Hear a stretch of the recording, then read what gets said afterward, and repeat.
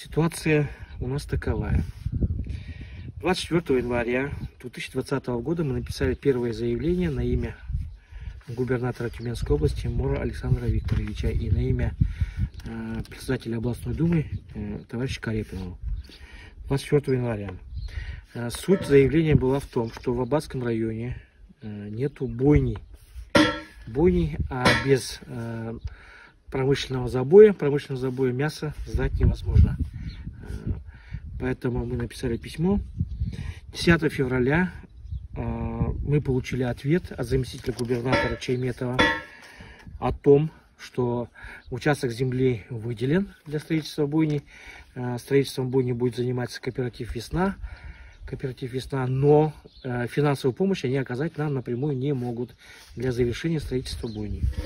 Поэтому господин Чайметов нам рекомендовал заявиться на Грант Агро Стартап как для образования фермерского хозяйства, то бишь меня, и с кооперацией с кооперативом «Весна» Пешиным Александром Михайловичем, для того, чтобы часть денег, грантовых денег ушло на завершение строительства и оформление документации в городе селе для того, чтобы могли крестьяне сдать свое мясо и получить доход. Ситуация.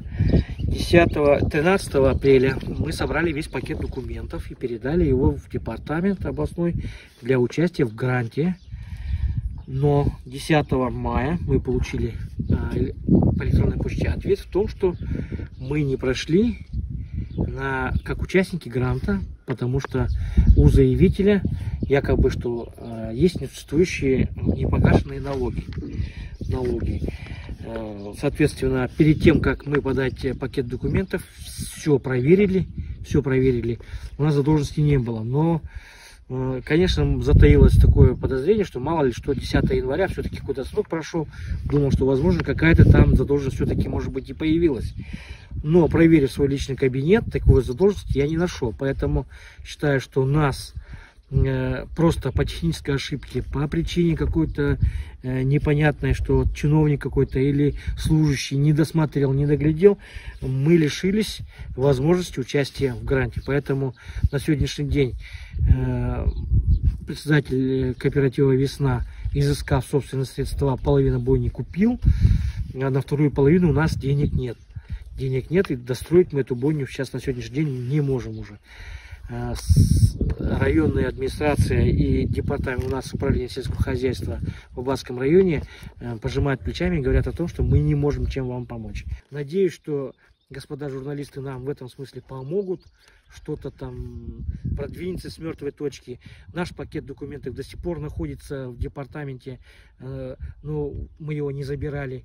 Возможно, сам губернатор, может быть, нас услышит, посмотрят еще раз наши документы, может быть, действительно там создадут еще одну конкурсную комиссию, проверят наши документы досконально, а не то, что там получается, что отказали, что вроде как бы налоги не оплаченные, а в итоге налоги оплаченные.